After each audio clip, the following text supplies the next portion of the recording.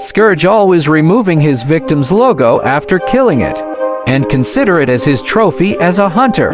But as you can see in his vehicle mode in Rise of the Beasts set, that there's a lot of logo in his front indicate that he killed Decepticons, Autobots, and even his own team before. But take a look at this Autobots logo. It seems that this logo is different because it's new. It is because that logo is from Bumblebee when he killed him in this scene. That new logo collection is a proof that he is able to kill B there. That's why in one part of the trailer Bumblebee logo is missing.